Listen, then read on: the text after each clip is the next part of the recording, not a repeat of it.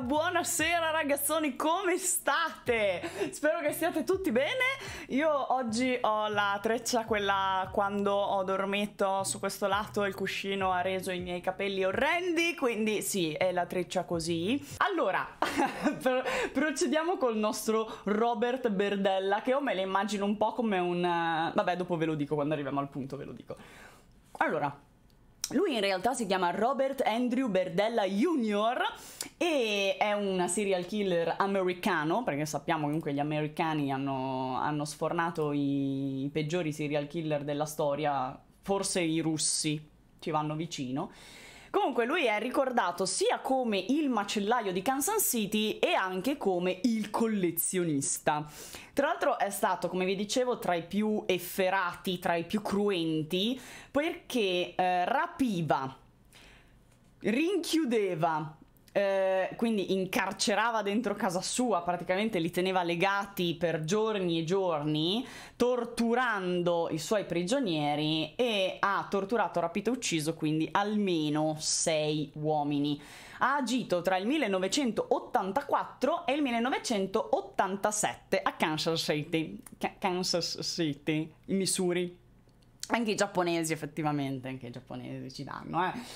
eh lui, adesso noi sappiamo che sei sono quelli che lui ha confessato, poi abbiamo la descrizione precisa di tutti i suoi omicidi, un po' perché lui ha parlato tanto e quindi una volta che ehm, si è dichiarato colpevole ha raccontato come ha portato avanti tutti i suoi omicidi. E anche perché lui aveva il diarietto, lui aveva il taccuino in cui scriveva le, tutte le torture fatte sulla, su quella persona, quanti giorni era lì, da quando era arrivato, quando è morto, tutte le cose che gli ha fatto. Quindi abbiamo anche i dettagli, ahimè, ahimè.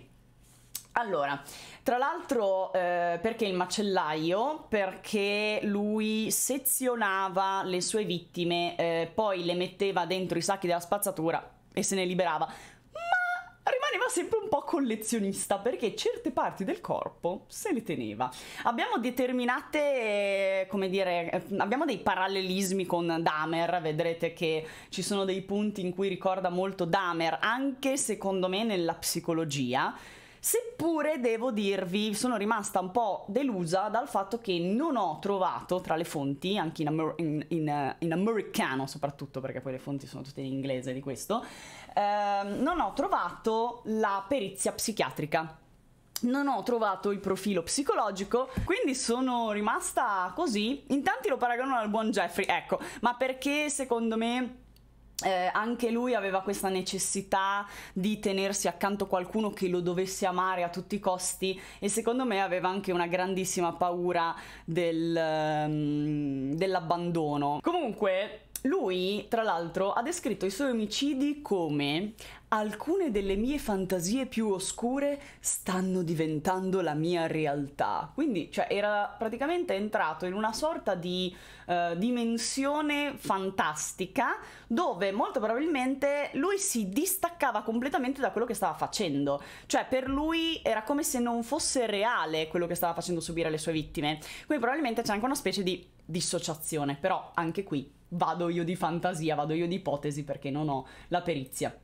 Allora, perché il collezionista, tra l'altro, non solo perché collezionava eh, parti di queste vittime, ma anche perché il film Il collezionista, che sono certa che voi avete visto tutti, tranne me, il film Il collezionista lo ha particolarmente eh, toccato, diciamo, ha avuto una specie di imprinting quando ha visto il collezionista e eh, dietro il suo modus operandi c'è proprio questo film. Ora, in molti hanno detto non si può dare la colpa al film, certo no, non si può dare assolutamente la colpa al film, ma ci su- succedono a volte delle cose mm, guardando i film scatta qualcosa dentro il nostro cervello, non so se vi è mai successo, c'è qualcosa che, non lo so, ti richiama dentro e ti risuona nelle scene dei film che, eh, o anche delle serie tv, eh, comunque eh, scene, ma anche pezzi di libro, poesie, canzoni che in qualche modo ti risuona e alla fine non te la dimentichi mai più. Nel film del collezionista c'era un uomo di nome Frederick Clegg che usa il cloroformio per rapire Miranda, che era una studentessa di arte di cui lui si era ossessionato, cioè si era proprio fissato con questa qui, la voleva a tutti i costi, quindi decide di rapirla, la tiene prigioniera nella sua cantina nella speranza che poi lei col tempo eh, possa amarlo. Perché giustamente no, se non te ama, rapiscila, chiudila in cantina, vedrai che poi dopo ti ama alla follia, cioè, ha senso. Va bene, perfetto così. Partiamo un attimo dall'infanzia del nostro Robert, che ci siamo persi in chiacchiere sui film. Eh, Robert Berdella Jr. nasce il 31 gennaio del 1949 in una città impronunciabile che si chiama Cuyahoga Falls. Cuyahoga, ok, in Ohio. Lui era il primo di due figli, cioè aveva un fratello minore eh, i suoi genitori si chiamano Robert Berdella Senior, che faceva l'operaio alla Ford, e Mary Berdella, che invece era una casalinga. C'era anche il suo fratellino, un fratello più piccolo che si chiama Daniel e vedremo che Daniel, insomma, sicuramente è un elemento un po' di disturbo. Comunque, il padre di Berdella era un fervente cattolico di origini italiane Anche perché questo cognome, insomma, qualcosa c'è. Eh, esatto, italo-americano, esatto, esatto. E lui, proprio italiano, molto religioso, molto cattolico, e quindi cresce la sua famiglia, cioè diciamo crea tutta la sua famiglia in modo estremamente religioso, cioè loro dovevano andare sempre a messa eh, in maniera proprio fissa, cioè sempre avevi l'influenza andavi lo stesso, avevi il covid ci andavi lo stesso e eh, entrambi i figli tra l'altro dovevano frequentare dei corsi di educazione religiosa. Ora, io questo padre, non so per quale motivo, nonostante non lo abbia visto, però questo padre, eh, il signor Berdella, me lo immagino proprio con la canottiera bianca da wife beater. Cioè, avete presente proprio il classico italo americano eh, di, di quelli di quelli che picchiano i figli perché anche la moglie perché lui effettivamente ci dava con ecco, la cinghia e con i bastoni quindi Robert da bambino era un ragazzino sveglio un ragazzino intelligente ed era uno che si faceva i cavoli suoi cioè era abbastanza solitario era sociale eh, non gli interessava fare amicizia con gli altri bambini non gli interessava giocare con gli altri bambini per cui giocava sempre da solo in casa manco col fratello cioè stava sempre per i cavoli suoi no? Io ne conosco un'altra. Io ero così, uguale, uguale. Poi, eh, insomma, qualche amichetta nel crescere eh, ce l'ho avuta, però non ero, cioè, non, non sono mai stata io a cercare eh, di giocare con gli altri. Anzi, anzi, giammai. Adesso poi il problema per cui è arrivato tutto il bullismo a scuola. Eh, lui, tra l'altro, da bambino era. Eh, c'era scritto sulla fonte piuttosto pingue. Ho riso un sacco perché mi piace un sacco la definizione. Era pingue. Vabbè, era grassottello, ecco, un po' eh, sovrappeso e per di più soffriva di un disturbo del linguaggio, quindi probabilmente o era dislessico o aveva qualche balbuzie, portava tra l'altro degli occhiali da vista, come possiamo vedere se li porta dietro eh, per tutta la vita, occhiali da vista molto spessi perché fin da bambino ha sofferto di una miopia eh, pesante. Pingue è bellissimo, pingue è poetico, è una, sì, è una parola poetica per definire eh, una persona in carne, diciamo. Eh, nei tempi passati dire che una donna era pingue è qualcosa di positivo. Infatti pingue è un'accezione positiva del grasso, diciamo. Quindi no body shaming. Dunque, lui, eh, tra l'altro, tra tutte queste sfighe che aveva da bambino, poraccio, gli viene anche diagnosticata una forma di ipertensione per la quale deve prendere dei medicinali tutta la vita e sarà anche il motivo per cui eh, farà una brutta fine. Comunque, eh, lui era una persona, insomma, da, anche da bambino, ma da ragazzino è sempre stata una persona abbastanza sedentaria e piuttosto pigra, cioè non si muoveva fisicamente molto volentieri. E eh, invece suo fratello era un mostro dello sport. Il fratellino Daniel era bravissimo, eccelleva in tutti gli sport. E, però c'è anche da dire una cosa: il fratello era in salute lui no, come facevi a far eccellere nello sport un bambino che aveva l'ipertensione e la miopia e sovrappeso e tutti i vari di... cioè, nel senso, eh, cosa, cosa, pretendi? Però, nonostante questo, suo padre eh, ce l'aveva a morte con lui perché non aveva dei... non aveva attitudine verso gli sport, cioè il padre no, no tu devi essere uno sportivo, devi essere un atleta, devi vincere le coppe e quindi niente, ahimè, eh, suo padre lo, lo criticava spessissimo e gli diceva che eh, suo, questa sua non attitudine allo sport era un enorme fallimento per lui, che questo era il figlio eh, venuto male, diciamo, e lo sminuiva spesso infatti nei confronti del suo eh, fratello minore Daniel. Tra l'altro il padre di tanto in tanto abusava psicologicamente di entrambi i figli e li, li, insultava, chi per un motivo, chi per l'altro, e poi prendeva la cintura di, di cuoio e spapapam, papà, pa, così. E poverini, insomma, il problema è che secondo voi chi ne prendeva di più? Robert o Daniel? Rob, Robert, ovviamente, perché era quello che per lui era il figlio uscito male. Ora, non è che abbiamo un quadro e qui tristemente dobbiamo fare i conti con la realtà, non abbiamo un quadro di violenza e abusi, esatto, uno stereotipo del padre italo-americano peraltro, di violenza e abusi tanto diversa da quella che...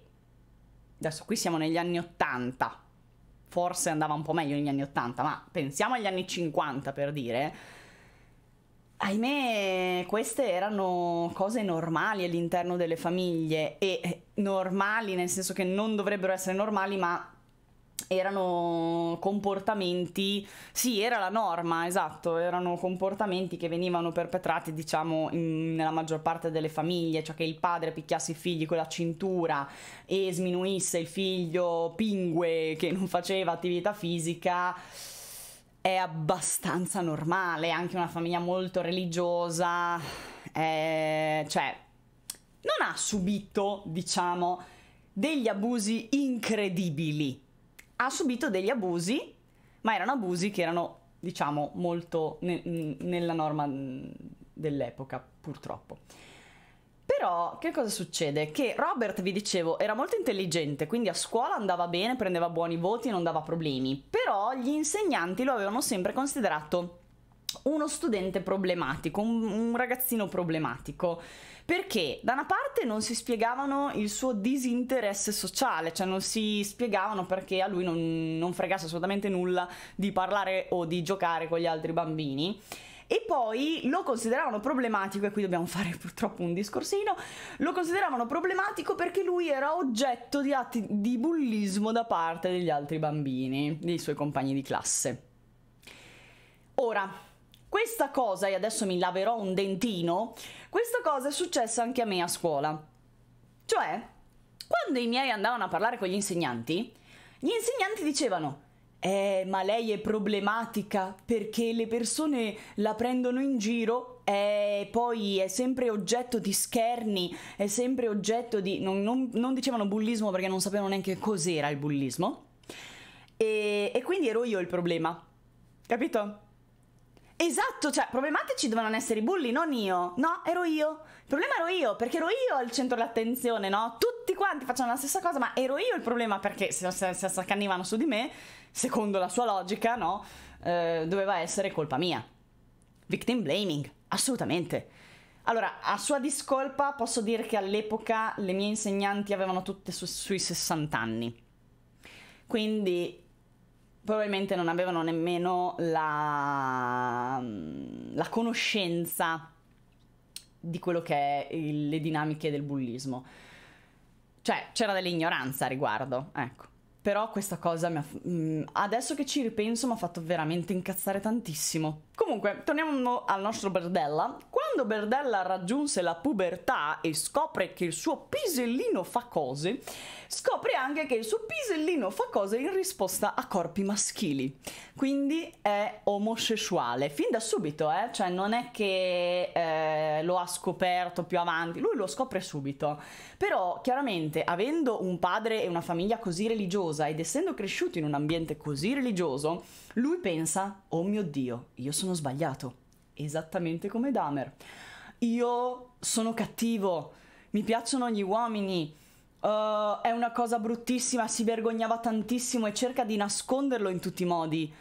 Eh, anche perché, ragazzi, cioè, non è come oggi che grazie a Dio, se anche non, eh, il ragazzino cresce in una famiglia che non accetta l'omosessualità, il ragazzino per la maggior parte dei casi sa che il problema è dei genitori. La maggior parte dei casi. Se uno cresce invece in un'epoca dove la religione è, eh, condensa diciamo tutto e dove tu sei in un ambiente estremamente religioso e per te i valori sono effettivamente quelli, nel momento in cui tu ti scopri sbagliato rispetto ai valori, poi automaticamente è ovvio che ti dai la colpa da solo, no? Come Damer, esatto, come Damer. E quindi, insomma, in adolescenza lui per nascondere questa cosa eh, cercò anche di avere delle fidanzatine. Ha, ha, ha, avuto anche per un certo periodo una fidanzata abbastanza a lungo, poi io non so se avevano rapporti o meno, eh, ora non, non, ho, non ho nel, nelle fonti non c'è scritto questo, però boh, comunque cercava di depistare tutti uscendo un po' anche con le ragazze. Però in adolescenza, e noi sappiamo che cosa eh, comporta la, eh, dire, la, la, repressione rispetto alla propria sessualità, in questo caso omosessualità, in tarda adolescenza Berdella comincia da, a sviluppare degli atteggiamenti rudi e sprezzanti, soprattutto nei confronti delle donne, comincia ad odiarle e ci credo, nel senso che tu sei obbligato ad avere rapporti con loro e a far finta che ti piacciono quando in realtà vorresti avere un petto virile accanto a te. E quindi chiaramente per opposizione no, ti viene la rabbia e scegli l'oggetto della rabbia che purtroppo erano le donne. E quindi comincia a fare l'inselone. L'inselone vintage, diciamo eh, la repressione fa malissimo e non fa malissimo solo alla vittima, all'omosessuale represso, fa malissimo anche a tutte le persone che poi gli sono intorno perché queste cose possono anche sfociare in atti estremamente violenti. Quindi ehm, non, non, bisogna mai, mai reprimere eh, le, le pro- i propri pizzicorini. Ecco. Comunque. Lui eh, in quel periodo, in adolescenza, quindi comincia a mh, mm, disprezzare le donne e comincia a fare un po' il poeta maledetto solitario. Lui impara a cucinare con la musica classica sotto un po' alla Hannibal e si interessa di arte antica, di poesia, di letteratura, quindi diventa un po' così eh, l'uomo isolato e maledetto. E pensate che adesso anche questa cosa qui lui lo, lo, segnò particolarmente perché il giorno di Natale del 1965 la sua famiglia, quindi lui insieme alla sua famiglia, sono andati a far visita dei parenti in, eh, a Canton, sempre in Ohio. Quella sera lì il padre di Berdella ebbe un infarto, aveva solo 39 anni, il, il padre wife beater tra l'altro, e Berdella ne aveva 16 all'epoca. Che succede? Lui ha questo infarto, si sente male, viene ricoverato in ospedale. Due giorni dopo eh, Berdella viene rispedito, cioè il nostro Berdella Junior, viene rispedito a casa sua, ma da solo, cioè eh, suo fratello, mamma, papà era ricoverato, rimangono là, mentre lui torna a casa da solo a 16 anni. Quindi, vabbè, ce la fa sì, però non era proprio eh, una cosa semplice. E pensate che quando lui è arrivato a casa, appena arrivato a casa, squilla il telefono di casa e gli dicono che il padre era morto. Cioè, pensate anche quanto può aver subito l'abbandono, perché comunque non lo odiava mica suo babbo, eh? Cioè, anche se lo prendeva a cinghiate, anche se lo umiliava, eh, come vi dicevo, erano delle, mh, mm, dei comportamenti purtroppo normali all'epoca e quindi Robert non, non lo odiava mica suo babbo, quindi ci è rimasto malissimo per questa cosa. E pensate anche al senso di abbandono e vuoto di eh, saperlo attraverso una telefonata quando tu sei a 16 anni da solo in questa grande casa e sei tornato senza che la tua famiglia ti seguisse e um, almeno non lo ha saputo da chi l'ha visto ecco già almeno dici almeno però raga anche questa bella botta e sono certa che questo evento abbia aumentato nella psicologia di Robert la paura dell'abbandono. Perché quando succedono queste cose qui, eh, ti viene il panico dell'abbandono, anche perché aveva 39 anni, stava benissimo, stroncato da un infarto da un giorno all'altro. Tra l'altro nel periodo delle feste natalizie, che sono Anco- è ancora più pesante quel periodo. Quindi che cosa fa Robert? Cerca conforto nella fede. Robert però pisellino, eh? No? Comunque lui cerca conforto nella fede, eh, però poi scopre che non funziona la fede, era meglio la fede, l'amica Federica, ma non amica della fede. E quindi a una certa ha detto, senti, basta, eh, la religione non mi aiuta, anzi mi aiuta più Federica, quindi eh, reagisce tra l'altro eh, con grande opposizione verso la religione, diventa un grande oppositore di ogni religione, molto cinico e scettico di fronte a ogni credo e ogni religione. Vedete come si comporta lui? Quando qualcosa non gli va eh, a genio, cioè quando qualcosa non funziona o, o la sente come una cosa che non non gli appartiene, non gli risuona, lui va in odio, va in opposizione totale, come ha fatto con le donne, adesso lo fa con la religione. Capite? È abbastanza immaturo, ovvio, è abbastanza immaturo, anche perché poi lì aveva 16 anni, quindi insomma, abbastanza immaturo sì. Bene, nello stesso anno, sempre nel 65, quindi quando lui ha ancora 16 anni, lui vede il film Il collezionista che è appunto il film di cui vi parlavo prima, dove il personaggio principale ehm, insomma seda col cloroformio la tipa che gli piace, poi la chiude in cantina e la segrega lì. Ehm, tra l'altro nel film emerge molto come il rapitore che chiude la ragazza dentro la cantina non la veda come una persona, ma bensì la veda come un oggetto. E anche questa cosa è entrata bene nel cervellino del nostro Robert. Eh, tra l'altro, questo film finirà con la morte della donna, poiché appunto, insomma, spoiler, scusatemi, però serve alla narrazione. La donna morirà di una malattia, nonostante i tentativi di tenerla in vita da parte del protagonista. E lui, insomma, già subito, dopo aver visto questo film, si rende conto che la visione lo aveva eh, colpito, che aveva avuto un, un trigger eh, incredibile, come una specie di imprinting, come, come vi dicevo prima, no? con Il Signore degli Anelli per me. Va bene. Fatto sta che altra botta d'abbandono che gli ha fatto un male tremendo, il papà era appena morto e qualche mese, forse un annetto dopo la morte del padre, la mamma si risposa immediatamente con un altro. E questa cosa Robert la prende malissimo perché la vede come un tradimento è come un vabbè, ma allora cioè, non, non, gli volevi bene a papà, sei una traditrice, adesso io mi sento poi messo da parte anche perché è nuovo uomo in casa, lui magari era diventato l'ometto di casa, si vede rimpiazzato da questo sconosciuto. E insomma anche qui un'altra botta alla paura dell'abbandono. E dai, eppure anche quella di essere dimenticati sicuramente eh, le fonti parlano del padre di Robert che fosse quello molto religioso, non parlano mai della madre molto religiosa, probabilmente la madre sottostava ai voleri del capofamiglia, ma magari lei non era poi così religiosa, per cui non lo so. Ma non c'è mica niente di male a ricostruirsi una vita. Però quando succede così velocemente, boh, boh, poi ognuno ha il suo percorso, eh, non bisogna giudicare. Comunque cosa succede? Dopo questo fatto Robert diventa sempre più introverso e si immerge sempre di più nel suo mondo privato, eh, dove insomma lui si appassiona appunto di arte, di pittura, poi siccome è uno che comunque deve essere quello intellettuale strambo, è un appassionato di numismatica, ovvero lo studio scientifico delle monete e di tutta la loro storia, quindi faceva il collezionista per l'appunto di monete e cos'altro non può mancare a un collezionista? I francobolli! Così lui poteva dire: Vieni a vedere la mia collezione di francobolli! Con quei baffi mm, da porno baffo proprio. Cioè, i baffi da porno baffo. Mm, non so se avete visto Orange, Orange is the New Black. Ma porno baffo aveva i baffi tipo così.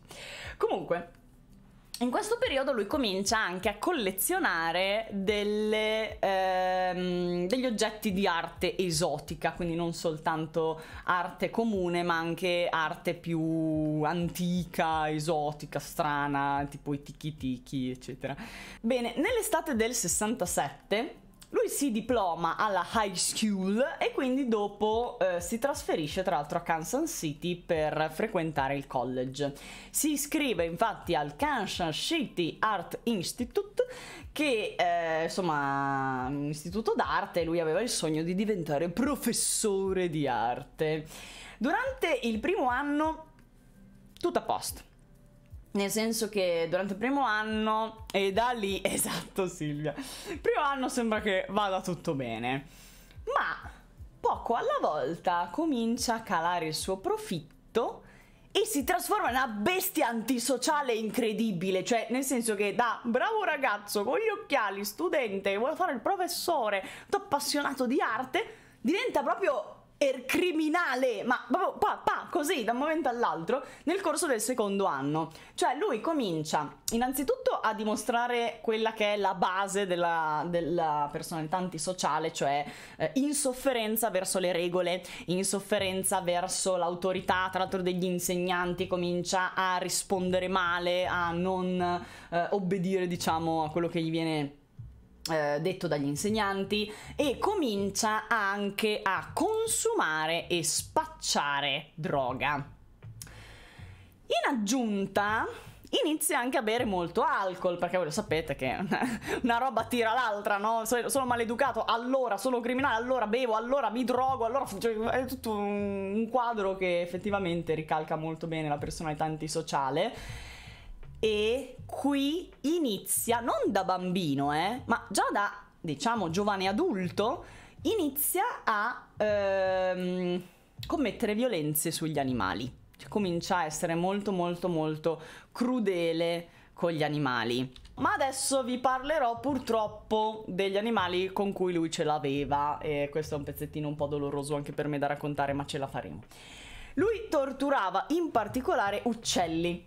E uno dice, perché proprio gli uccelli? Ci sarà un... no, non credo, non lo so. Comunque ce l'aveva con le anatre e con i polli e con le oche. Lui una volta ha addirittura eh, decapitato viva un'oca davanti ai suoi compagni di classe, davanti agli altri studenti, e poi ha detto perché mi serve per creare un'opera artistica? L'ho fatto per l'arte. Ah, ok, scusa. Cioè, allora, allora, allora scusa. Ok, Garrettina, ti faccio dei segni. uh, un'altra volta ha sperimentato l'iniezione di sedativi e tranquillanti su un cane. Ahimè. È finita. È finita. È finita. Però, ecco, tutte queste cose lui le faceva eh, in nome dell'arte. Doveva farlo in nome dell'arte. Uh, adesso tralasciamo. Comunque, quello che eh, stava facendo era una specie di preparazione a quello che farà poi, farà molto peggio sulle persone, farà molto peggio. L'arte sa il mondo dell'arte, sì, esatto, esatto. E anche qui c'entrano i pennuti. Mm, sì, anche quando ha a che fare con le persone. Comunque, quando ha 19 anni, cioè rendetevi conto che tutte queste cose lui le fa tra i 18 e i 19 anni, cioè cambia proprio così. Insomma, a 19 anni lui viene arrestato per spaccio di droga perché? Perché è furbissimo. Lui ha cercato di vendere metanfetamina a un poliziotto in borghese. Cioè dici proprio... che sfiga! Cioè, che sfiga! Eh, oh, ma la vuoi da Matt? Polizia! cazzo, cazzo. Comunque, viene mm, Darwin Awards, esatto. Lui viene arrestato per, um, per spaccio di droga e poi viene rilas- rilasciato su cauzione per 3.000 dollari. E eh, insomma successivamente tra l'altro si dichiarò colpevole e viene condannato a 5 anni ma con sospensione della pena condizionale. Cioè lui si becca 5 anni non li fa ma se eh, viene colto in flagranza di reato un'altra volta se li fa tutti e anche quei bonus quindi insomma mh, mm, lui ha capito bene questa lezione, l'ha capita benissimo, infatti un mese dopo eh, Berdella viene di nuovo arrestato con altri due studenti per possesso di marijuana e dell'SD. Questa volta ovviamente viene spedito al gabbio, ma eh, al momento del processo le accuse vengono archiviate perché effettivamente non ci sono prove. Quindi lui sta in carcere, eh, scusate, neanche non ci è mai andato a processo. Eh, lui sta in carcere qualche giorno, poi le accuse cadono perché effettivamente non hanno eh, prove per portarla avanti. Quindi, insomma, se l'è cavata per il rotto della cuffia, diciamo. Nel 69, 1969, Berdella si ritira di sua spontanea volontà dal college, dall'istituto d'arte, perché è stato criticato e lui non sopporta di ricevere delle critiche. Cacchio, facevi quelle cose sugli animali, facevi cose orribili.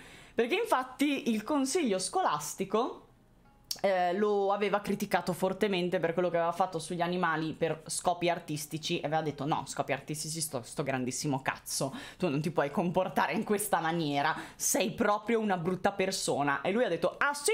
Allora io me ne vado! E se n'è andato.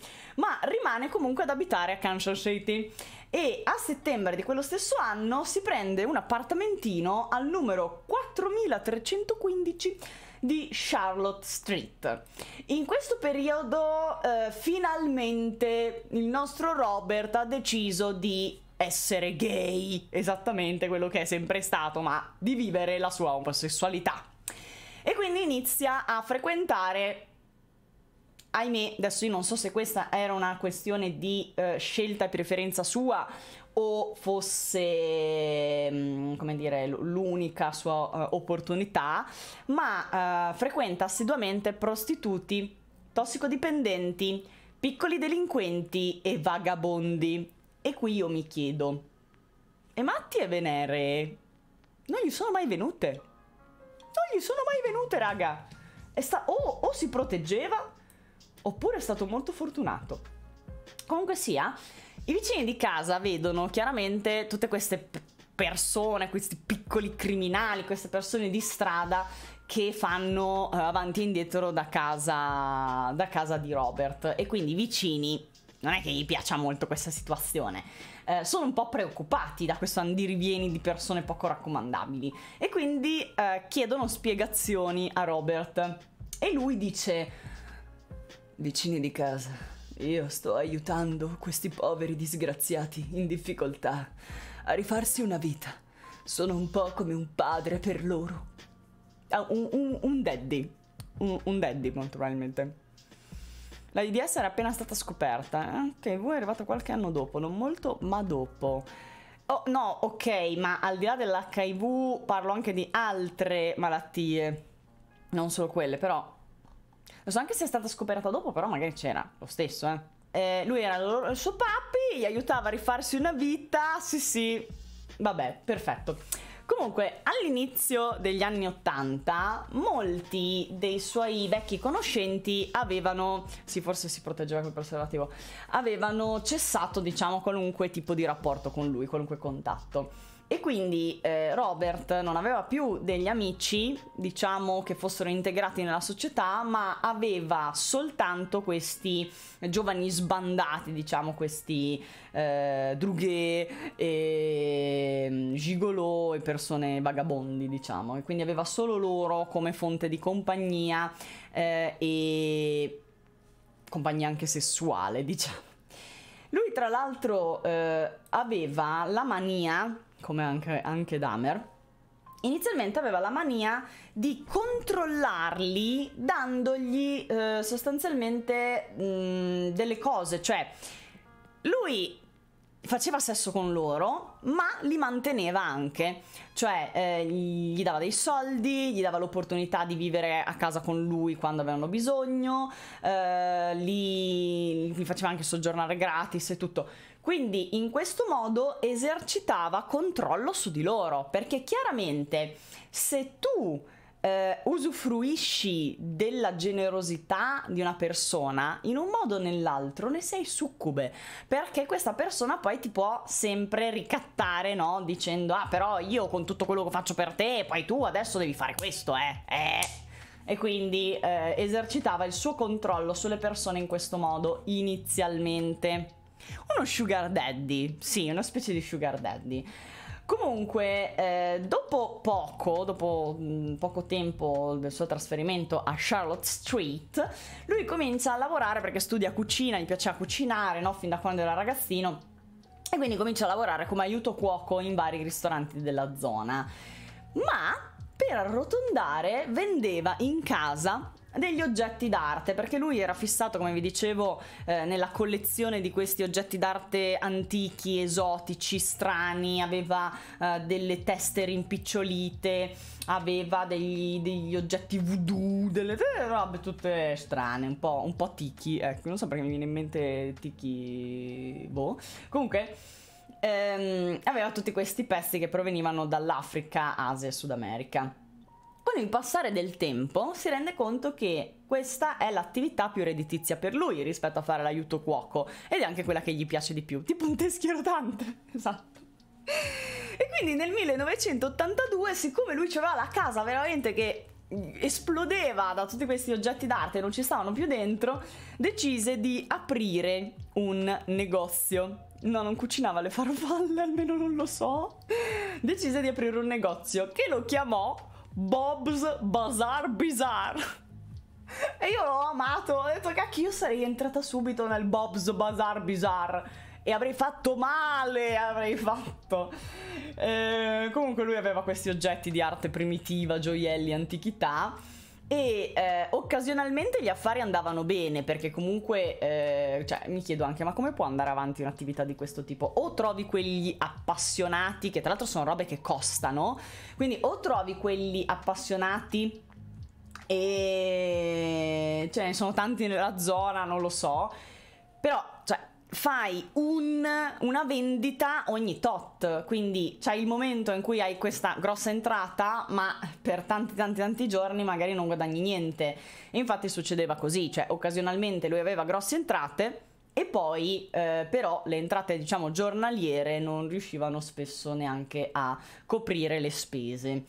Insomma, come risultato, eh, Berdella si rese conto che se voleva tenere il negozio aperto avrebbe dovuto trovare anche un'altra fonte di reddito. E dove l'ha trovata? Affittando stanze in casa sua. Una stanza, scusate, una sola stanza in casa sua. Quindi affittava e prendeva i contanti da lì. Ci stiamo avvicinando al momento degli omicidi. Comincia adesso, eh, comincia. Insomma, lui aveva anche dei contatti lavorativi, giustamente, per riuscire eh, nel, nei suoi commerci, sue, nei suoi bagagli lì d'arte. E quindi Berdella conobbe questo mercante di oggetti d'arte di nome Paul Howell, che era il titolare di un negozio vicino al suo, forse anche un po' un concorrente. E questo Paul Howell aveva un figlio di 19 anni che si chiamava Jerry Howell. E Jerry e i suoi amici inizialmente cominciavano a mh, mm, prendere in giro Robert per la sua omosessualità.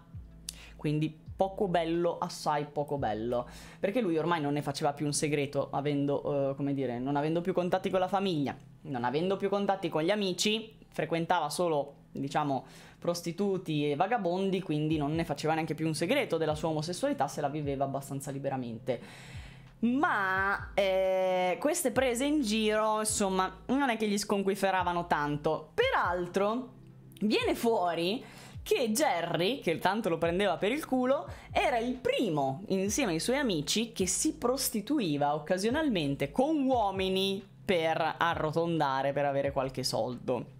Quindi, bella l'ipocrisia, eh? Bella, bella. Fatto sta che nei primi anni 80 Paul, Hol- Paul Howell eh, si trasferì eh, in un edificio situato all'incrocio tra la 39esima e Main Street, ma nonostante insomma la lontananza dei loro negozi rimangono in buoni rapporti. E qua arriva il nostro Jerry Howell, che è stato il primo sfortunato nelle grinfie di, di Robert. Infatti pare che eh, sia stato proprio Jerry la prima vittima. E dico pare perché è sempre quello che lui dice, magari ce ne sono state altre perché comunque lui colpiva eh, ahimè eh, persone che erano abituali alle scomparse, quindi vagabondi, tossicodipendenti, persone che poi magari non andava a cercare nessuno quindi non sappiamo esattamente quanti ne abbia uccisi. Facciamo fede al suo diarietto e alle sue confessioni. Sembra che eh, insomma questa sua prima vittima lui l'abbia uccisa il 5 luglio del 1984. Siccome si conoscevano già proprio in vista del, di suo padre, lui lo convince abbastanza facilmente a entrare in casa sua tra l'altro gli dice ma vieni in casa che poi ci, ci, beviamo una cosa, dopo ti accompagna a una gara di ballo a Merriam che è in Kansas. Tanto non, non, non so perché uh, una gara di ballo lo accompagna, si vede che Jerry ballava, non, non lo so.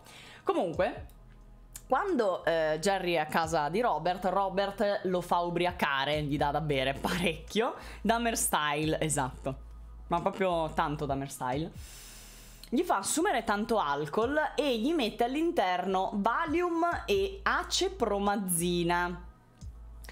E insomma, poi tra l'altro lo, lo mh, mm, fa per accompagnarlo, cioè proprio lo, lo, carica in macchina e dice: Va bene, dai, adesso ti accompagno al ballo, eh, alla gara di ballo. Quindi loro partono, ma chiaramente perde i sensi perché Jerry perde i sensi perché era stato bombato di sostanze, no? Quindi lo riporta a casa, fatta la finta, lo riporta a casa e gli inietta un tranquillante molto molto pesante. Dopodiché lega Jerry al suo letto e lo tiene legato al letto per 28 ore. Durante tutte le 28 ore eh, Berdella continua a Robert, scusate, continua a drogarlo, continua a torturarlo e continua a violentarlo ripetutamente. E adesso entriamo anche un po' in dei dettagli, quindi sappiate che se avete lo stomaco debole tenetevelo dentro, tenetevi lo stomaco. Lui arriva a eh, penetrarlo analmente con oggetti estranei e nonostante le suppliche di Jerry, più Jerry supplicava, più male gli faceva. Insomma, Jerry alla fine morì, almeno secondo quelli che sono gli appunti nel taccuino del nostro Robert, morì soffocato nel proprio vomito. E Robert racconterà anche di aver cercato di fare un massaggio cardiaco a Jerry per eh, farlo sopravvivere ma insomma alla fine non ci è riuscito. E quindi dice, ah, cavolo, è morto. E mo che faccio? Porto il suo cadavere in cantina, lo appendo per i piedi a una trave, poi ci metto una bella pentolona sotto tutto, poi faccio piccole incisioni in modo tale che si dissangua tutto, dopodiché prendo il corpo, lo seziono, metto i vari pezzi dentro i sacchi della spazzatura e poi li porto nella discarica. E chi si è visto, si è visto. Capite la, la, la, la crudeltà, la, cruentità di tutto ciò? Una morte non esattamente dignitosa, no, no, per niente, per niente. E insomma, dopo che Jerry scomparve, suo padre, che si chiamava Gerald, come The Witcher, eh, Gerald sospettava che effettivamente ci fosse Robert di mezzo nella sua scomparsa e che Robert probabilmente era anche l'assassino c'era arrivato subito il nostro, il nostro Geralt. Infatti il signor Gerald ha denunciato le sue paure alla polizia dicendo che effettivamente Robert Berdella era l'unico, uh, era l'ultimo ad aver visto suo figlio è stato visto anche da diverse persone in macchina con suo figlio e di conseguenza deve sapere qualcosa e lui gli puzza pure che l'ha ucciso lui. Quindi cosa succede? Che la polizia mette sotto sorveglianza Robert e lo interroga anche. Il problema è che quando viene interrogato Robert dice no no ma sì è vero probabilmente eh, sono stato visto con, um, con Jerry perché l'ho accompagnato alla gara di ballo io l'ho accompagnato, l'ho lasciato lì e poi dopo non so che fine abbia fatto, se è scomparso, però se è scomparso da lì. Insomma, lo tengono sotto sott'occhio, diciamo, ma non riescono assolutamente a scoprire niente e nessuna prova per farlo incriminare. Quindi, alla fine, lasciano anche perdere. Questi sono i casi in cui eh, non c'è giustizia e è un po' anche questa alla Dahmer, no? Vi ricordate addirittura a Dahmer era scappato uno dei suoi ehm, prigionieri che era ovviamente tutto eh, strafatto perché lo aveva sedato eccetera e la polizia, insomma è arrivata la polizia perché poi c'era quella ragazza che aveva segnalato la polizia, ma lui era talmente tanto dignitoso ed elegante che è riuscito a convincere addirittura la polizia che non fosse colpa sua. Stessa cosa è successa qui, eh, perché quando lui ha fatto l'interrogatorio era un signore così distinto. Quindi, perché dovrebbe aver ammazzato un, un ragazzo? Mamma, va là. Poi l'omosessualità non esiste, no? Giusto? Cioè, non pensavano tutti così, quindi. Beh, come vi dicevo, sia per questo omicidio che anche per eh, tutti i seguenti, il nostro Robert tiene un resoconto scritto e dettagliatissimo di tutte le torture, le pratiche sessuali e tutto quello che ha fatto subire alle sue vittime. Infatti, dopo il suo arresto, eh, ha raccontato agli inquirenti che Jerry, e qua ci si stringe il cuore, Jerry aveva supplicato perché lui smettesse con le torture, con gli abusi. Per tutto il periodo della sua prigionia, per tutte quelle 28 ore, Jerry lo ha pregato sempre di più perché eh, potesse lasciarlo libero, perché la smettesse di fargli del male. Ma ciò nonostante, il nostro Robert ha ignorato completamente le suppliche, anzi lo scherniva e lo minacciava e faceva ancora peggio, cioè più lui eh, chiedeva di smettere, più lui faceva più forte. Eh, comunque, quando ha confessato questo omicidio, il nostro Robert Bardella ha tenuto a precisare che non è che faceva tutte queste cose per divertimento personale, ma soltanto ed esclusivamente per la sua gratificazione mentale e fisica. Non ho capito. Non, non ho capito, raga. Scusate, scusate. Non per divertimento personale, ma per gratificazione mentale e fisica. Qual è la differenza, scusate? Sì, sadico, assolutamente. Ma è un artista lui, infatti, cioè poeta, poeta artista, quindi figuriamoci, cioè non è che si diverte, lo deve fare per l'arte. Tradotto è un sadico, assolutamente. Ah, su questo non c'è dubbio. Passiamo alla seconda vittima. Un anno dopo, quasi un anno dopo, un po' meno, il 10 aprile del 1985, un ex coinquilino di Berdella, il 23enne Robert Sheldon, bussò alla sua porta e chiede se può rimanere ancora qualche giorno, cioè lui aveva già abitato a casa di Robert, quindi si fidava, diciamo, e torna chiedendo se poteva stare ancora qualche giorno perché mh, aveva di nuovo bisogno di un alloggio. E insomma, Robert dirà che anche se Sheldon avrebbe pagato l'affitto, lo considerava veramente una scocciatura. E quindi non lo. cioè, gli stava sui maroni questo qui, non era assolutamente attratto da lui sessualmente. Ma ha deciso comunque di drogarlo e metterlo in cattività il 12 aprile. Insomma, l'ha sopportato per due giorni e poi ha detto: Sai cosa? Sai cosa? Io comunque te lego, te torturo, te stupro anche se non mi piaci perché, perché sì, perché mi stai sul cazzo. Perfetto. Quindi Sheldon, poverino, viene drogato con dosi massicce di sedativi e viene tenuto prigioniero nella camera da letto al secondo piano perché c'era proprio la camera da letto delle torture, quella adibita ai prigionieri. È stato legato al letto per tre giorni, durante il quale chiaramente viene crudelmente torturato in modi molto fantasiosi. Ma cosa succede? Perché tre giorni? Lui l'avrebbe tenuto anche di più. Bottarella, no, è un po' di, sadi, un po' di body sadismo, non si nega a nessuno, no? Vabbè, ehm, il 15 aprile sarebbe dovuto venire a casa di Robert un operaio per fare dei lavori sul tetto e quindi non poteva tenere il prigioniero lì perché se no avrebbe potuto chiedere aiuto o il, l'operaio se ne sarebbe potuto accorgere. E quindi decide bene di eh, eliminare la sua vittima, la soffoca, soffocherà il povero Sheldon con un sacchetto di plastica in testa.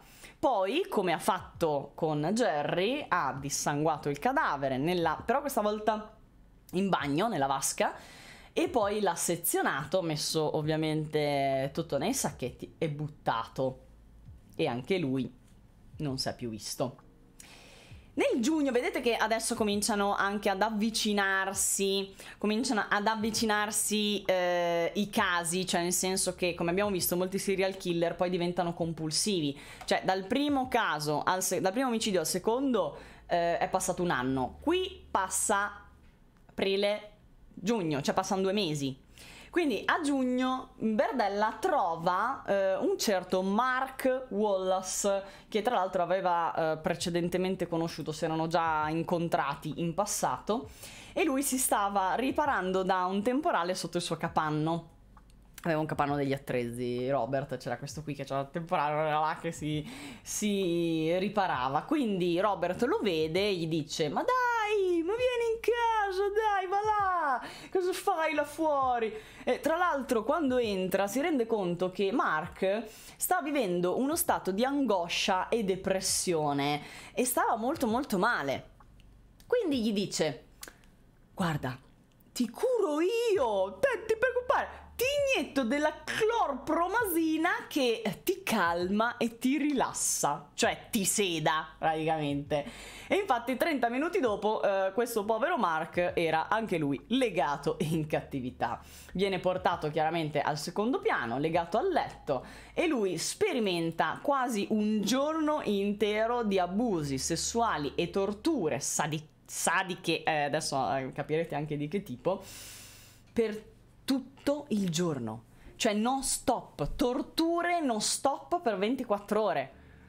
E io dico anche che energia hai per fare così tanto del male per così tanto tempo.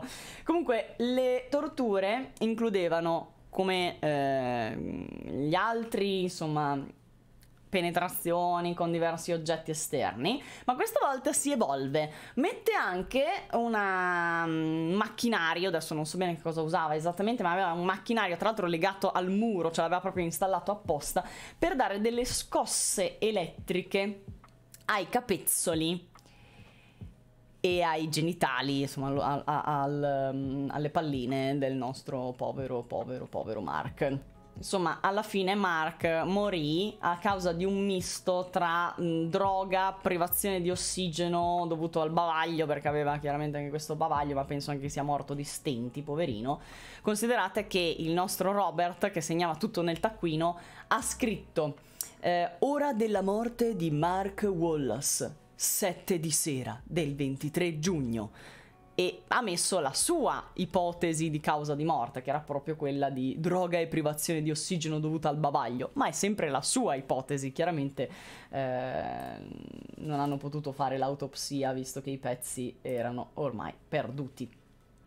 Il 26 settembre è la volta della terza vittima, eh, tale James Ferris Praticamente Robert risponde a una telefonata di questo suo conoscente che si chiama James Ferris che eh, chiede se può rimanere a casa sua per un breve periodo. Siccome lui effettivamente nei tempi in cui ospitava tutte queste eh, persone diciamo sfortunati, vagabondi eccetera, erano abituati poi a richiamarlo quando avevano bisogno.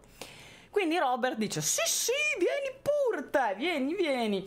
Anzi lui qui eh, forse questa è una delle prime vittime che eh, raccoglie con l'intento primario di rapirle fin da subito. Cioè non è un'idea che gli è venuta dopo, ma appena gli ha telefonato ha detto questo lo rapisco e gli faccio tanto tanto tanto male. E quindi gli dice: Guarda, incontriamoci in un bar così ci mettiamo d'accordo sull'affitto, sulle spese, sulle cose. Um, tra l'altro, nonostante la brutalità a cui aveva eh, sottoposto le sue prime tre vittime, Berdella ha affermato che Ferris è stata la prima vittima a cui ha intenzionalmente deciso di infliggere le torture. E queste sono parole sue. Ora ho una domanda, Robert. Quindi cosa vuol dire? Che tu per la prima volta hai deciso di torturarlo mentre gli altri chi è che lo faceva? Cioè ci cadevi sopra? Cioè gli, le scosse elettriche erano per sbaglio? no, non capisco, no, veramente non capisco, non capisco.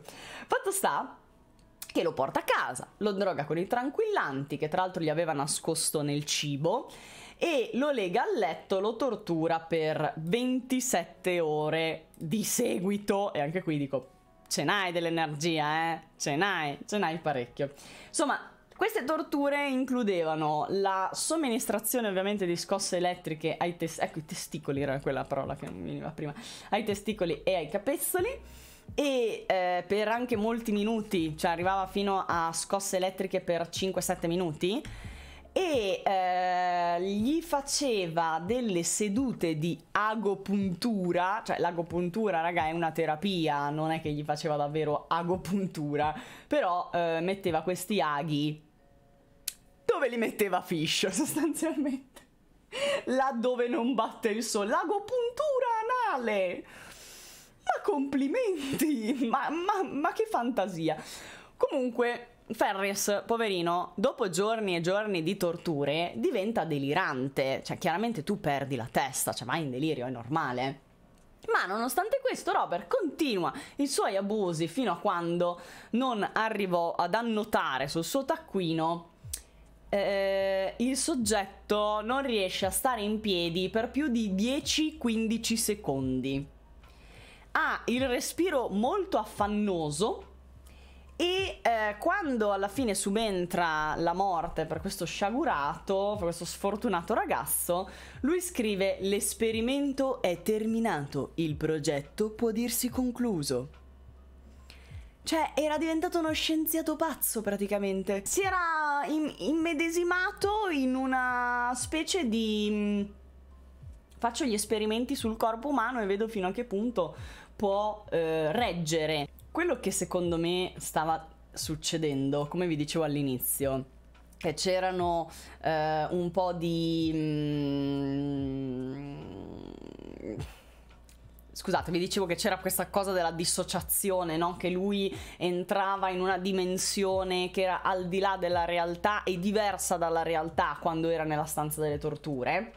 Ecco che qui vediamo che proprio le fantasie prendono corpo, cioè eh, io divento lo scienziato che fa degli esperimenti, non sono quello cattivo che sta torturando perché è cattivo. No, no, io sto facendo degli esperimenti, quindi tutto a posto, tutto ok. Tra l'altro, ehm, ecco, vi dicevo il confronto con Dahmer.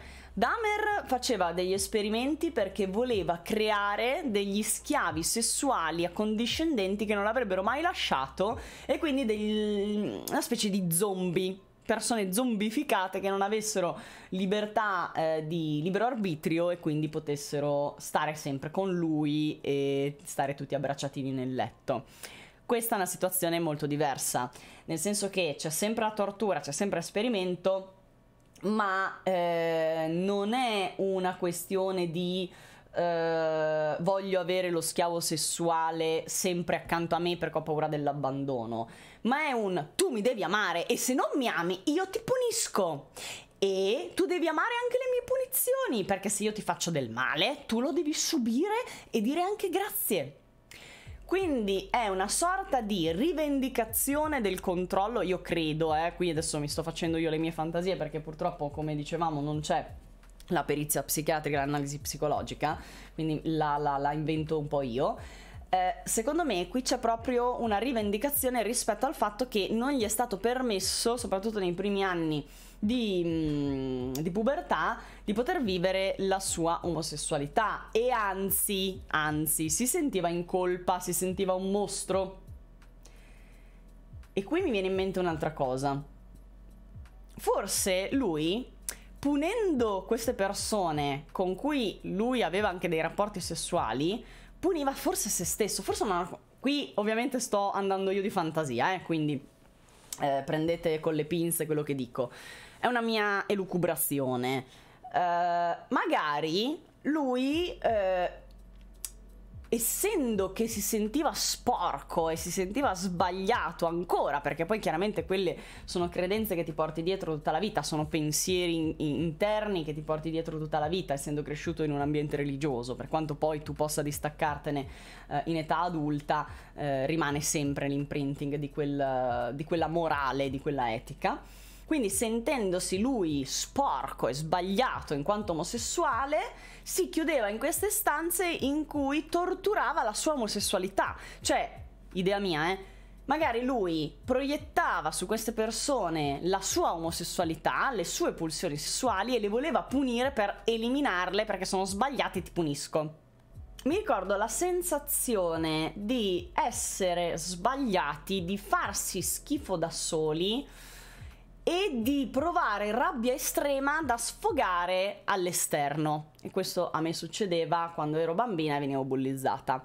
Ovviamente non facevo male a persone o animali, ma mi sfogavo magari sugli oggetti, ero, ero un po' distruttiva de- determinate volte con... Uh, cioè, per esempio prendevo dei bacchetti, uh, dei, dei, rametti e, e cominciavo a picchiare fortissimo gli alberi. Ok, violenza sui vegetali ho fatto violenza sui vegetali, ora me ne rendo conto. Però non li ho fatto male, eh, sono, sono, ancora vivi quegli alberi. E, e, c'era questa rabbia interna perché mi facevo schifo da sola. Cioè io in realtà quando picchiavo quegli alberi mi odiavo. E quindi probabilmente eh, forse c'è anche una, una dinamica di questo tipo. Arriviamo alla prossima vittima, si chiama Todd Stoops ed era un drughe, era un tossicodipendente, era un prostituto occasionale che si prostituiva ovviamente per potersi pagare le sostanze e aveva anche una moglie, tra l'altro. Aveva vissuto insieme tra l'altro a sua moglie in casa di Robert nel 1984. Ma quando Stoops e sua moglie lasciarono la casa per la seconda volta, dopo Robert non lo vide più fino a quando non lo rincontrò nel Liberty Memorial Park di Kansas City il 17 giugno dell'86. Quindi stiamo parlando di un uomo sposato, non omosessuale. Sì, si prostituiva così per pagarsi, ma non era omosessuale, lo faceva per soldi. Cosa succede? Che oh, Hacker, quant'è che non ci vediamo, vecchio mio? Vieni a casa, ci facciamo una bevuta. Così, due birre, una pesta, ci guardiamo un film. Dai, vieni.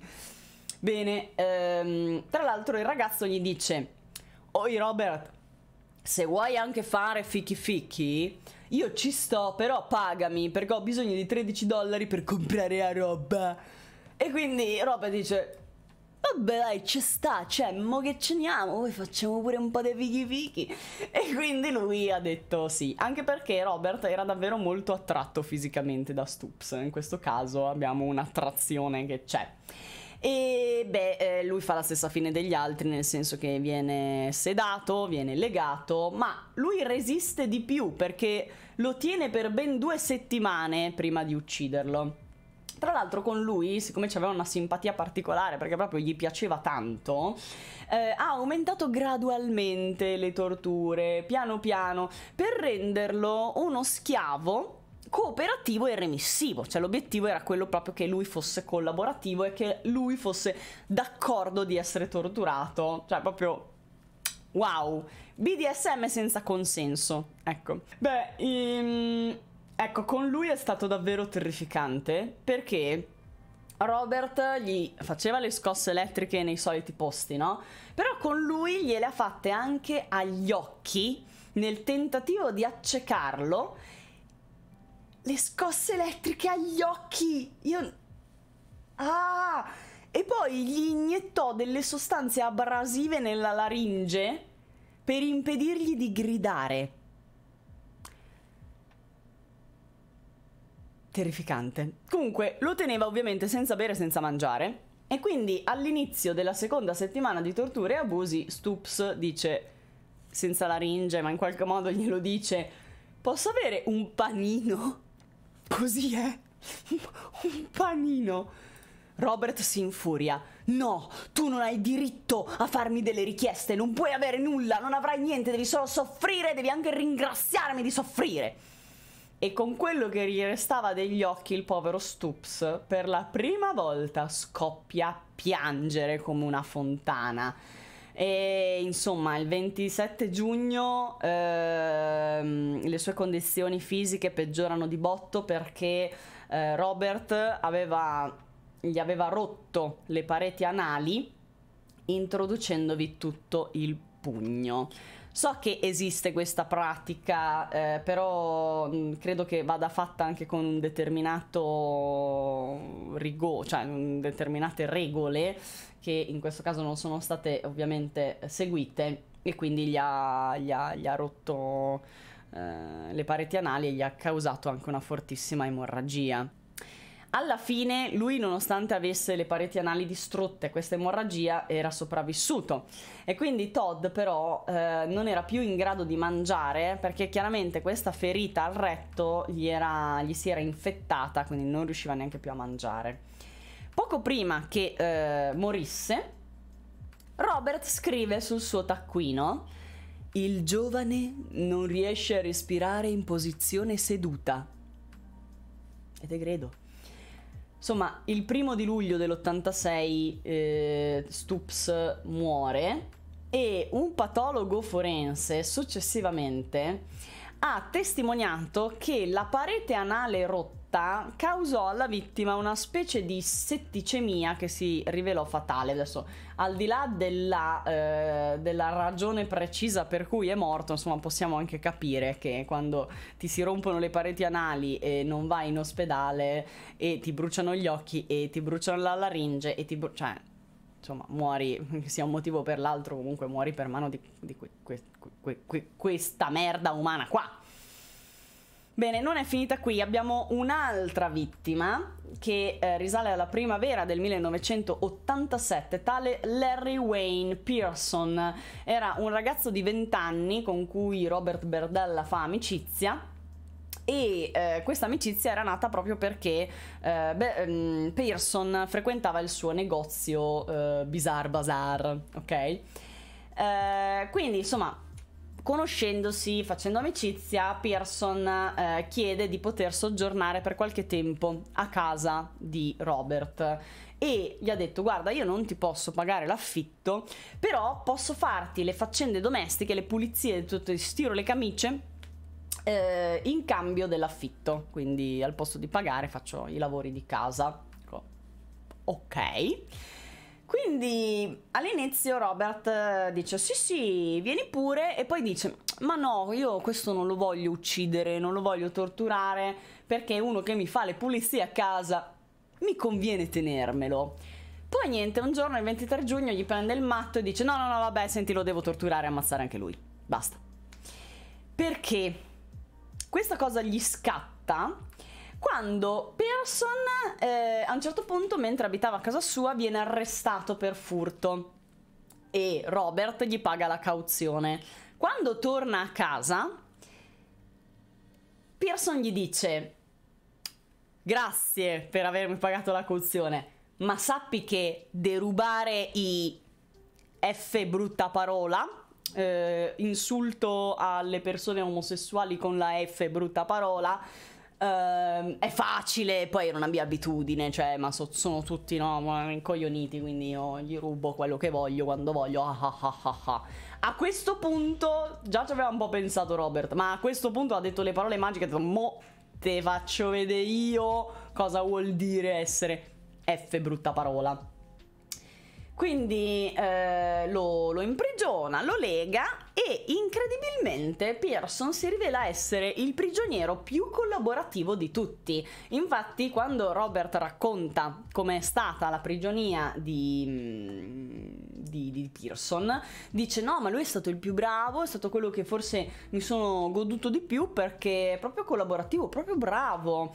Cioè considerate che il quinto giorno della sua cattività lo aveva torturato con le scosse elettriche e gli aveva rotto le ossa delle mani con una mazza di ferro e la vittima gli ha detto grazie, mi è piaciuto e non ha versato una lacrima né fatto un verso, né fatto un grido e gli faceva i complimenti.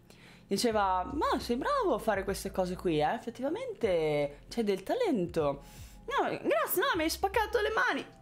Grazie, no, ma mi, ha fatto proprio piacere. Quindi Robert dice, ha, ha, usato una psicologia inversa, ha usato la psicologia inversa, sindrome di Stoccolma in versione BDSM, esatto. O era un piano o era una sindrome di Stoccolma. Lo salutava sempre quando si, ripo- quando si riposava di torturarlo. Esatto, esatto, 5 stelle su Slave Advisor. Mamma mia. Quindi, capite, ehm, lui ha usato un metodo completamente diverso, non ho neanche idea di come abbia potuto resistere. E quindi cosa fa? Robert comincia a fidarsi di questa sua vittima e eh, lo sposta in una stanza più agevole, gli permette di guardare la tv, gli fa fare delle cose che effettivamente agli altri schiavi non aveva fatto fare e ogni tanto lo lasciava anche libero. Ogni tanto. Ovviamente sempre sotto la sua supervisione, no? Oh, dura tantissimo perché sono sei settimane che eh, Pearson è prigioniero e fa veramente di tutto per non contrariare Robert. Si lascia torturare sempre, eh, tra l'altro, mm, sì, come vi dicevo, gli diceva anche grazie, quindi Robert è innamorato. Fatto sta che eh, però dopo sei settimane Pearson tradirà la sua fiducia. Perché dice adesso si fida di me, no? Ora io lo uccido. E cosa pensa di fare Pearson? Durante una fellazio gli dà un morso fortissimo al pene cercando di staccarglielo. Non è riuscito, ai noi, a staccarglielo. Dopodiché, eh, quando lui insomma ritira il pene dalla sua bocca, comincia a urlare: Basta, io non ti sopporto più, ho fatto finta fino adesso, ti odio! Insomma, impazzisce, ha una specie di crisi di nervi, di nervi e quindi per tutta risposta Robert lo colpisce con un ramo di albero in testa e poi lo strangola da svenuto. Ora io ho una domanda. Cioè, abbiamo tutti dei rami di albero a portata di mano lì così. Cioè, non ho capito che cazzo ci faceva con un ramo di albero a portata di mano. Non doveva essere il bacchettino, perché uno dice, ah, ma c'avrà il ramo, quello che si usa per il BDSM dei fare le frustate. No, perché ha, gli ha fatto perdere i sensi con una botta con un ramo in testa. Beh, comunque gli ha dato una botta in testa, lui ha perso i sensi e mentre era svenuto senza sensi, lo ha strangolato, poraccio. Dopodiché Robert è andato in ospedale perché aveva una ferita effettivamente molto grave al pene e si è fatto curare il pene. Poi torna a casa, c'è ancora il corpo di Pearson lì, e lo smembra nel seminterrato. Vedete che ogni volta sceglie una stanza diversa dove fare eh, il macellaio, mm, lo dissangua, lo smembra come gli altri, ma in questo caso ne conserva la testa ne conserva la testa per un certo periodo, e qui siamo da, eh, Damer vibes, la mette in un sacco di plastica all'interno del congelatore e la tiene lì un po'. Dopodiché, insomma, comincia a decomporsi, comincia a, a, fare puzza, quindi dice ok, la metto in giardino e la seppellisce nel suo giardino. Arriviamo all'ultima vittima, che è molto interessante. A luna di notte del 29 marzo del 1988, Robert rapì la sua ultima vittima, tale Christopher Bryson, 22 anni. Era un prostituto, uno gigolò omosessuale che lui aveva raccolto dalla strada, cioè si stava prostituendo e lui l'ha raccolto dalla strada. Vanno a casa e Christopher, come tutti gli altri, eh, viene sedato, ma a differenza eh, degli altri, siccome non probabilmente era anche un tossicodipendente, quindi forse era abituato alle sostanze, non lo so, insomma, non riusciva a sedarlo subito e quindi ha detto: "Oh, senti, mi ha dato una botta in testa con una spranga di ferro per fargli perdere i sensi, perché non riusciva a sedarlo". Ok. Dopodiché lo lega al letto e lo stupra ripetutamente, torturandolo come gli altri. Ora io mi chiedo, cioè, tu te lo sei portato a casa, lui era consenziente, avresti potuto avere un rapporto sessuale con lui consenziente, ma no, tu dovevi sedarlo e poi dopo stuprarlo perché sennò e qui ovviamente sto dicendo un'ovvietà, noi sappiamo che eh, lo psicopatico sadico sessuale riesce ad avere una reale eh, eccitazione soltanto nel momento in cui no, non c'è consenso, c'è tortura, c'è sadismo e c'è dolore. Quindi ovvio che aver avuto eh, l'occasione di fare Shesho con lui non, eh, cioè, no, non gli dava soddisfazione, doveva farlo per forza in maniera violenta, no? Beh, eh, nel caso di Christopher, Robert è stato davvero molto cattivo, anche se ogni tanto gli asciugava gli occhi con l'ammoniaca e poi gli diceva, perché lui piangeva, poverino Christopher, e poi gli diceva, le uniche cose alle quali devi pensare sono te, me e questa stanza. Che poi, tra l'altro, scusate, non so che cosa faccia l'ammoniaca agli occhi, ditemelo voi. Cioè, l'ammoniaca per asciugare le lacrime è terribile. Gli bruciano gli occhi. Ah, ecco, quindi li bruciava. Dopo svariati giorni di prigionia, Robert spiegò a Christopher che, eh, insomma, mm, gli fa un discorsino. Gli dice: Guarda, Christopher, credo che tu abbia davvero capito il senso della mia prigionia. Tu eh, sei bravo, sei collaborativo, quindi mi piaci, ragazzo mio, allora possiamo fare una cosa. Decidiamo insieme quali torture subire, puoi scegliere. E gli fa scegliere tra le torture, cioè gli dice, guarda, preferisci l'ammoniaca negli occhi, le scosse elettriche nelle palline, gli aghi nel culo o che ti spacco le mani? E quindi gli ha dato questa grande, grande, grande, come dire, concessione di addirittura poter scegliere quali torture subire. Eh, pure gentile, capito? C'era il catalogo, esatto, esatto. E lui gli dice, guarda, possiamo negoziare sulle torture ma non esiste possibilità di negoziazione per gli abusi sessuali, quelli dei pigli e basta, quando voglio io, quanto voglio io e tutte le volte che te lo dico io. Tra l'altro, ehm, Robert concluse questo discorsino con questo avvertimento. Ho già fatto questo discorso ad altri prima e sono tutti morti adesso a causa dei loro errori. Ora, perché sappiamo anche le frasi che gli ha detto, perché Christopher è sopravvissuto.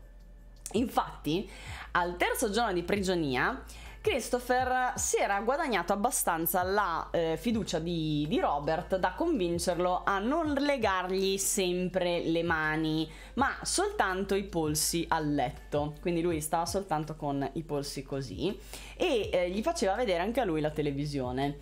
Il giorno dopo, approfittando del fatto che comunque Robert continuava a portare avanti il suo negozio Bizarre Bazaar, eh, cioè aveva comunque il suo lavoro, 50 sfumature di bestia, esattamente, esattamente.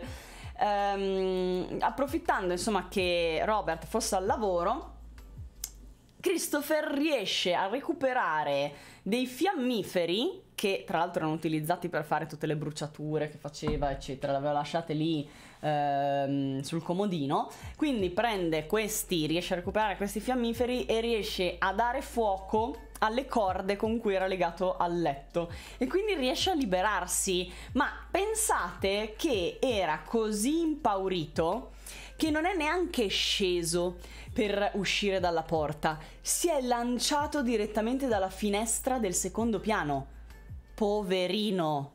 Cioè, era terrorizzato, non riusciva neanche a fare le... Dice, faccio le scale, magari me lo incontro. No, io vedo la libertà, mi ci fiondo, si è buttato, si è rotto un piede, anche perché ha fatto un balzo incredibile dal secondo piano. Era completamente nudo, completamente pieno di ferite e aveva un guinzaglio al collo.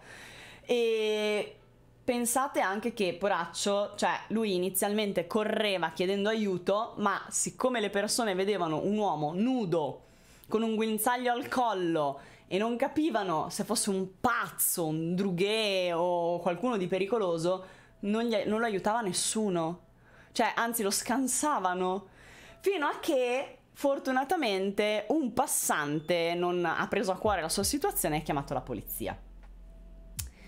Ma immaginate la frustrazione di essere prigionieri di uno che ti fa quella roba, di buttarti dal secondo piano, romperti un piede, la disperazione di chiedere aiuto a chiunque e vederti pure schifato. Viene interrogato da quattro agenti Christopher, ovviamente lo, lo fanno rivestire, lo, lo, mettono al caldo e ehm, lui subito racconta tutta la storia, cioè dice guarda io stavo facendo l'autostop, mi stavo prostituendo, e poi insomma si ferma questo Robert Berdella, mi prende su e mi porta a casa sua e poi racconta ovviamente tutte le violenze e la, la prigionia che ha dovuto subire. Uh, chiaramente lui eh, dice queste cosine qui, ma poi viene subito portato in ospedale perché cioè, ha delle ferite veramente gravissime. Quindi, mentre lui viene accompagnato in ospedale da tre agenti, il quarto agente chiama in centrale per chiedere rinforzi e l'autorizzazione di perquisire chiaramente casa di Robert. Una volta dimesso dall'ospedale, Christopher racconta alla polizia che Robert gli aveva fatto vedere anche diverse Polaroid, diverse foto che mostravano eh, i corpi morti delle sue precedenti vittime. E quindi dice: Guardate, che questo qui la gente l'ha ammazzata e anche più di una. Quindi. Eh, come dire, tra l'altro, eh, Robert stesso gli aveva detto che quelli li aveva uccisi lui e che erano le sue precedenti prede che aveva cercato di collezionare come schiavi sessuali, ma siccome non erano bravi schiavi ha dovuto ucciderli. E se non sei bravo ti uccido, no? E ovviamente questo era terrorismo psicologico, facendogli vedere eh, le varie cose, eh, le, le, le, come finivano le, precedenti vittime, eh, lo, mh, mm, lo obbligava a comportarsi bene ed essere accondiscendente, diciamo. Comunque, nello stesso pomeriggio della fuga di Christopher, Robert viene arrestato con l'accusa di violenza sessuale nei confronti di, uh, di Christopher, perché ovviamente non avevano altre uh, accuse in quel momento, cioè avevano solo le dichiarazioni di Christopher, non avevano prove. Invece, per quanto riguarda Christopher, le prove c'erano vanno a casa. Adesso questa, questa, è una parte assurda. Questa è veramente una parte assurda. La polizia va a casa a fare tutta la perquisizione da eh, Robert in casa sua e trovano un sacco di riscontri rispetto al racconto di Christopher. Trovano nella camera da letto al secondo piano il delirio, cioè proprio la camera degli orrori, eh, c'erano le corde bruciate eh, che avevano tenuto prigioniero Christopher che lui aveva bruciato per scappare poi nella stanza c'era una, mm, un trasformatore elettrico appeso alla parete con dei cavi che arrivavano fino al letto proprio per dare le scosse elettriche e torture con l'elettricità. Poi accanto al letto c'era un contenitore di metallo con dentro delle siringhe, dei flaconi, eh, diverse sostanze, tamponi, collirio, ammoniaca, tutti i vari oggetti che utilizzava, tutte le varie sostanzine che utilizzava per eh, fargli del male. E poi trovarono anche la famosa sbarra di ferro con cui ehm, toglieva i sensi, diciamo, a quelli che eh, si svegliavano troppo presto. Trovano delle corde di varia lunghezza, cinture di pelle, guinzagli, cose BDSM, diciamo.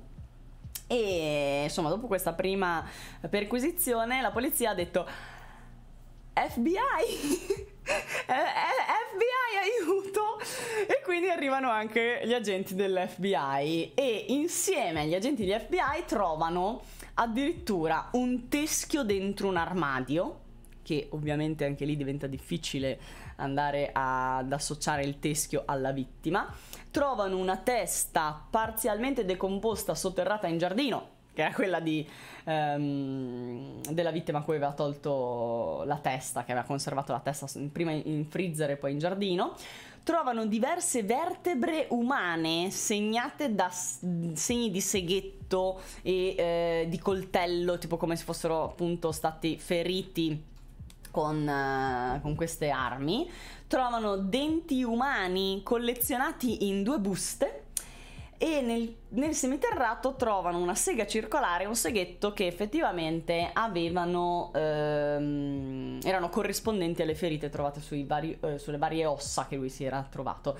E trovano anche una motosega macchiata di sangue con appiccicata alla lama pezzi di carne con attaccati peli pubici.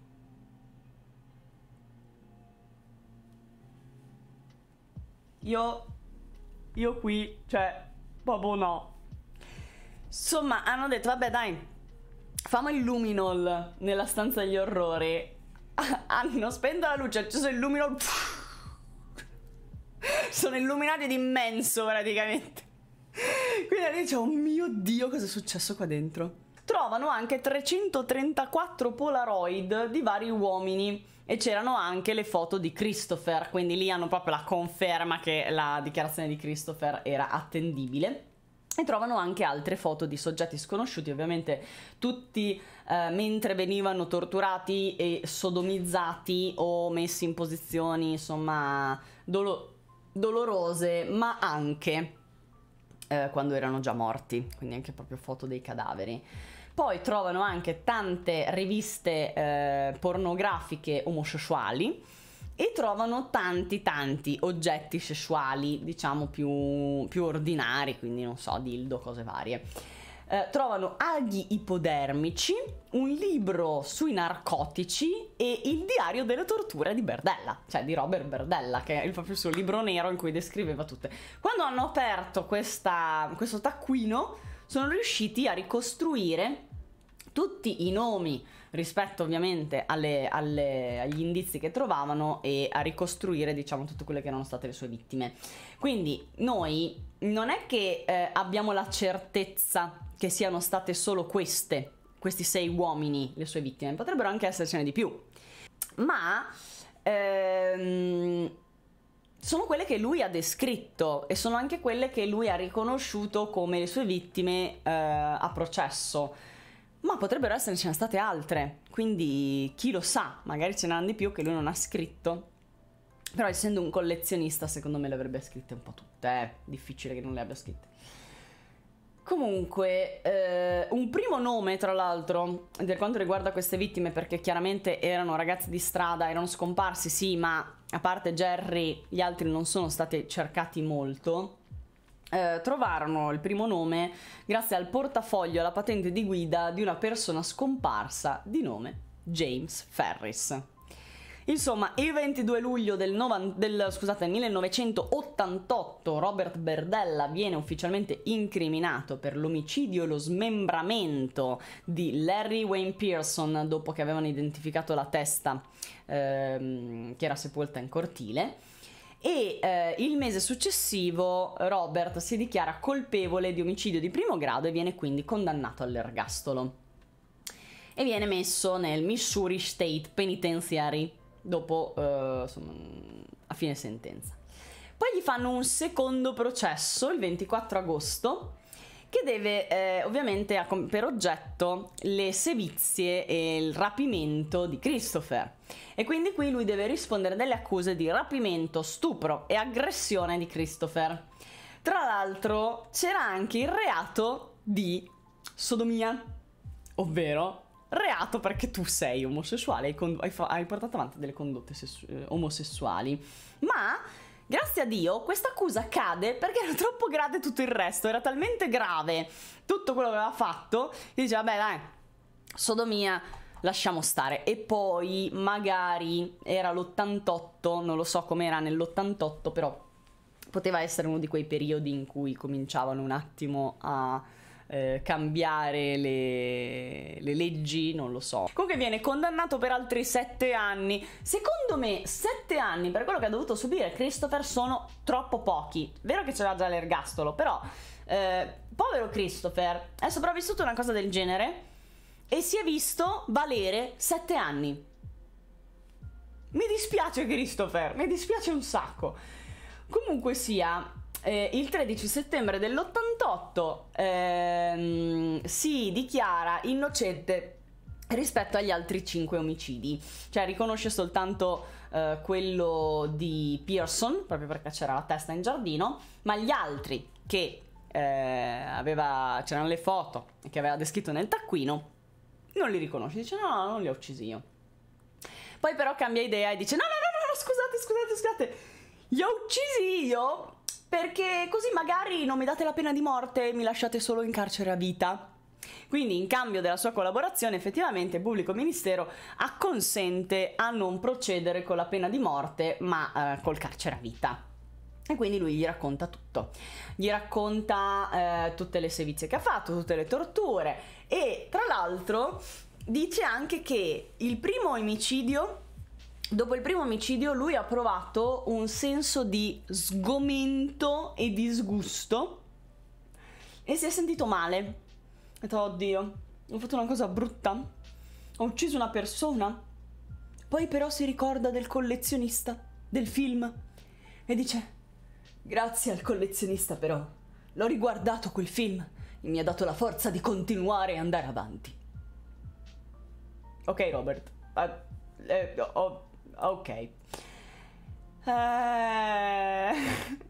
E, insomma, un'altra cosa che lui ripeterà davanti al PM, al, al procuratore, è: No, ma comunque eh, deve sapere, dottore, che io quelle persone lì non, non le vedevo come persone, le vedevo come oggetti.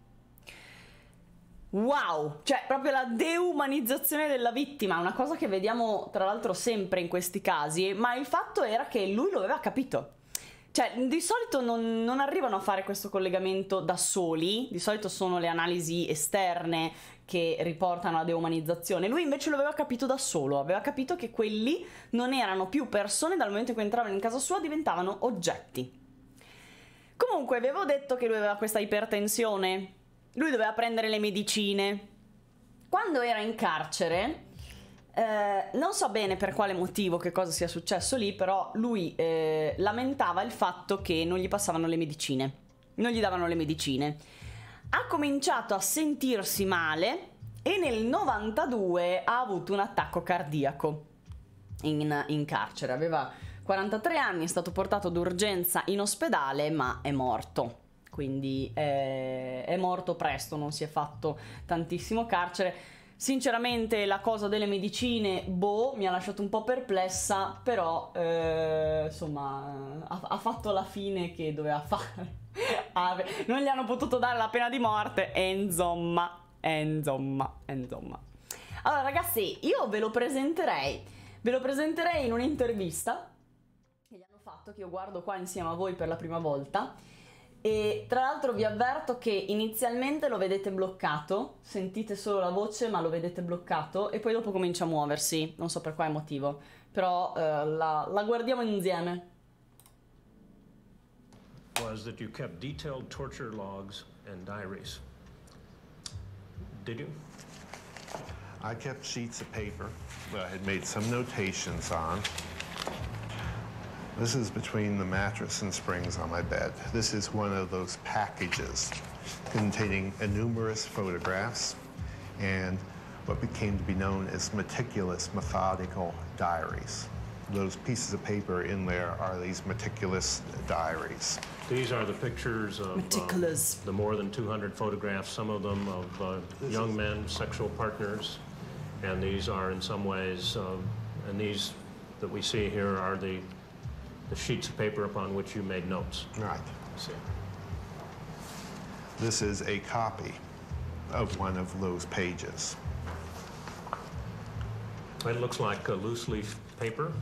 Uh, it does contain information about amounts of uh, drugs. So on. So, what is your complaint with the police well, calling these detailed diaries? By your evaluation, does this look methodical? Doesn't look methodical. Meticulous? It looks a little sloppy. they are not bound in Corinthian leather, written on parchment diaries that the media apparently tries to describe them as. The sheets of paper. Did you feel when you learned that uh, not long after your uh, uh, arrest, pardon me, The local radio stations, two of them at least, were running a Bob Berdella parody song and were asking people to come to parties wearing dog collars. Well, I think the newspaper article reported that even the families of the victims were upset by the song. I have never had a chance to hear the I song. I had also been told when I first came into jail that the Fox radio station had run a promo giving prizes to their listeners if they showed up at the station in a dog collar and with a leash on. The people here in the institution, the correctional officers, the caseworker, even the psychiatrist, were, I think, surprised to find out that that upset me. And it did upset you? Very much so. You recall we mentioned before that uh, there were reports in the Westport Flea Market where you had uh, your shop that um, people would say, oh yes, I do remember uh, he, he, had these strange smelling dishes of food, um, that uh, he had bead bones. And later on there was speculation, at least in the community and in some aspects of the media, uh, that uh, the remains of your victim were somehow being transported and prepared as meals and prepared as jewelry in your shop. I was quickly able to identify to the police the other dealers in the, that section of the market where we rotated potluck rather than eat the flea market food again. And that you could question any of these people, and they'd be able to tell you that the food was good. There was nothing suspect about the turkey or ham or beef that was in said, these I dishes. Want the police to explain why they allow Lo diceva anche Dahmer che era delizioso. To die in the convenient area of 10th and McGee. I don't think any family of my victims or anybody else that has been killed down related to 10th and McGee are going to be happy to find out that their loved one is basically written off by the police as far as investigations go, etc because they died in a convenient neighborhood. The police knew what was going on, so it's no big deal.